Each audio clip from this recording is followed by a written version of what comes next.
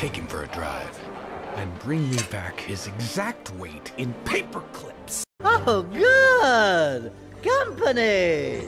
So, you're the little glob of ten who's been making all the trouble. Who are these losers? Oh, that's a good one. well, how about this? By the power invested in my fist, I clobber you! Ah! ah! My upgrades!